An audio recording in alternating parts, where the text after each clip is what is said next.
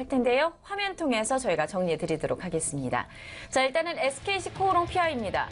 어, SKC 코오롱 PI. 어, 제가 기억하기로는 이 종목이 시즌 1에 한 번 나왔었던 종목이기도 한데요. 맞아요. 네, 수익이 조금 있었던 종목이기도 합니다. 자, PI 필름과 관련돼서 중공업, 조선 등 다양한 분야에 적용이 되고 있는데 전기 자동차나 flexible 스마트폰이 수요가 증가하면서 어느 정도 중요 소재가 더욱더 부각되는 것으로 보여지고 있는 종목입니다. SKC 코오롱 PI 제가 차트 흐름을 좀 잠시 살펴보도록 할 텐데요.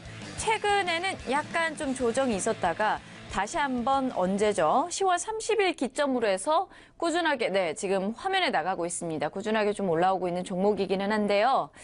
어, 음, 음, 고심, 고심이 되네요.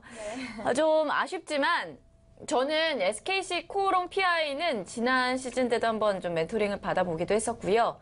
네, 이번 종목은 그냥 좀 패스를 해보도록 하겠습니다. 어떤 멘토님께서 가지고 오셨는지 화면 통해서 만나보도록 하죠. 아, 예병군 네. 멘토님께서 제가 지금 예병군 멘토님을 못 만나 뵌 지 약간 좀 되신 며칠- 것 같아요. 며칠 된 것 같은데 아, 상당히 굉장히 송구한 마음을 감출 수가 없네요. 어쨌든 네, SKC 코오롱 PI 살펴보도록 하겠습니다.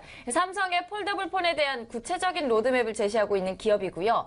방막화, 소형화, 경량화라는 이 3대 미래의 과제에 있어서 선두주자를 달리고 있는 기업이 되겠습니다. 자, 다음 내용도 함께 만나보도록 하겠습니다. 자, SKC 코오롱 PI에 대한 매매 전략을 잡 아주셨다고 하는데요.